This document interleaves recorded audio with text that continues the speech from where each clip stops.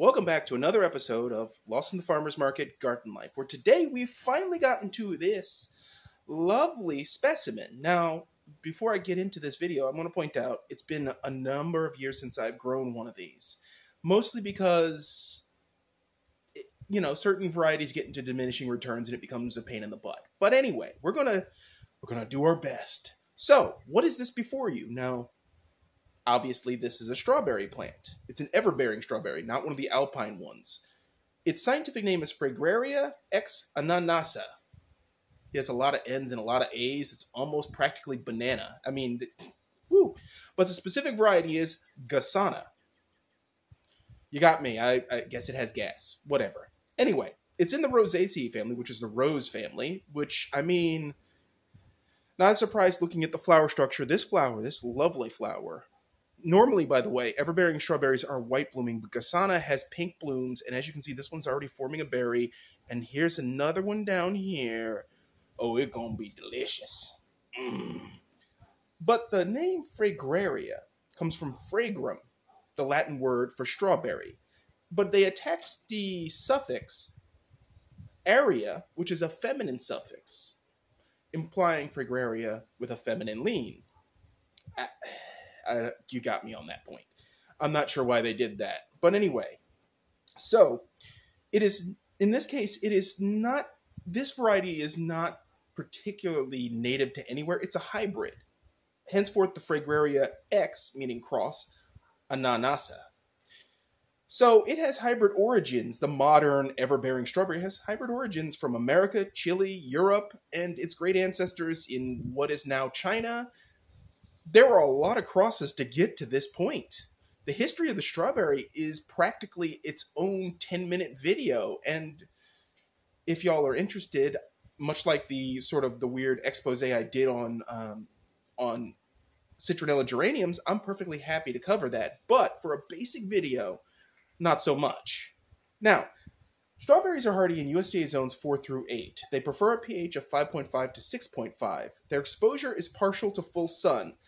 Now, the growers specifically noted for this variety 6 plus hours, which is effectively partial sun or better. Um, you will have to make that judgment in your own yard. We're in zone 8A here, and this thing is gets most day sun, about eight hours on average, maybe 10. Um, and then it's cast in shade for the afternoon so the soil can cool down because it's in a pot, obviously. And I bought this plant, actually, funny story. When I bought this plant so that I could talk about it because I had I realized I had completely forgotten about strawberries. The grower's like, Don't you want berries on it already? I said, Nah, that's cheating. Weeks later, there they are, because I know the strawberries can't wait to burst out with goodness.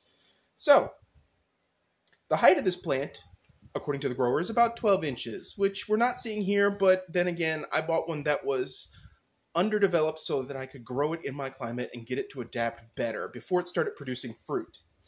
Its width can be 24 to 36 inches, so I'm assuming that means it's going to produce runners or something.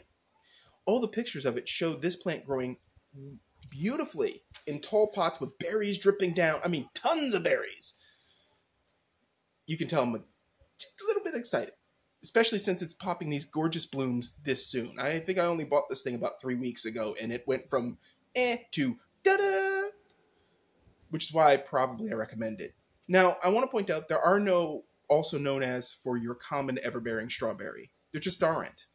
I mean, we all know what it is, and we all agree upon it, which is pretty rare in the plant field. Usually there's a bunch of weird common names tacked on that are some iteration of the original, and wait till you see when I get to Sweet Bay. Ooh boy, many names. But anyway, I do need to clarify something scientifically here. Strawberry fruit are not actual berries.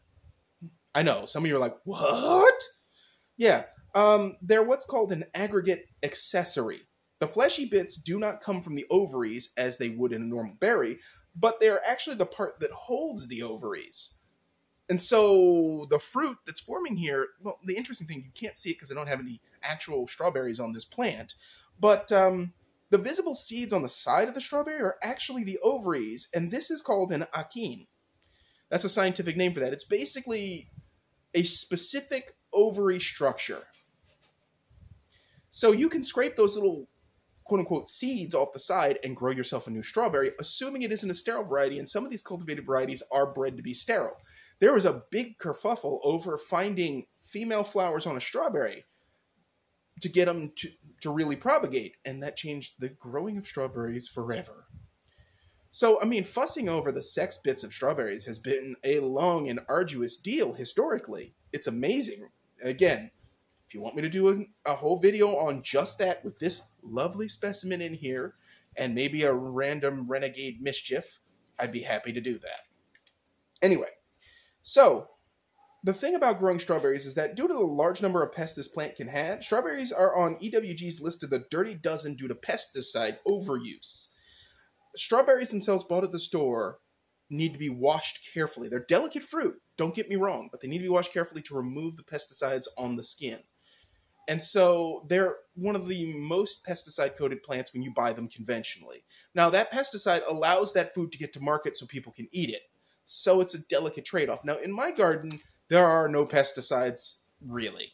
I mean, the only time I use pesticides is when it's really, really, really necessary. And then it's usually insecticidal soap. So that's what I would use if this got aphids, which they frequently can do. Um, in addition to aphids, they can get attacked by slugs and a variety of things that are just unpleasant that can ruin your entire strawberry's career. But, but all that trouble for such wonderful fruit. It's totally worth it. Now, I find that growing them in containers and hanging baskets is a good way to mitigate some of that. But hanging baskets and containers have their drawback in that it is a smaller soil column than would naturally be available in ground, and so as a result of this, they dry out faster, and you have to do more maintenance, and you have to replenish more fertilizer, and so forth. Everything comes with maintenance. But anyway, I just want to point out that the United States is the second largest producer of strawberries as of 2021 with 1.21 million tons. That's a lot of berries, ain't it? Woo! And raw strawberries have are composed of 91% water, 8% carbs, and 1% protein. They have 71% of your daily val- allotted value of vitamin C and 18% of your manganese. So they're not just empty calories. They're actually really useful. And then you start talking about the coloring agents, the flavanols, and things like that, and it turns out strawberries are really, really good for you. It's not hard to imagine that you don't have to drink a gallon of water a day if you're getting an adequate amount of fruits and vegetables because most of these things have a lot of water in them and your body extracts it from everything you eat. So, a gallon a day is kind of a weird medical myth that's unnecessary if you have a healthy diet. Now, if you're eating french fries every day, that's a totally different issue. But anyway, so about strawberries. I've grown them before, several different varieties, and this one is much more dramatically beautiful because of the color of the blossoms. I wasn't really expecting them to be pink, but that I'm okay with that. Um, what I find to do the best way to grow strawberries is in containers, and preferably what you want to do is make sure they get a regular dose of fertilizer. If you're going to throw basic liquid fertilizer at your tomatoes, throw it at your strawberries, the same stuff. Um, I don't believe Epsom salts works necessarily, but your regular general purpose water soluble one does. They respond heavily to nitrogen. Warning.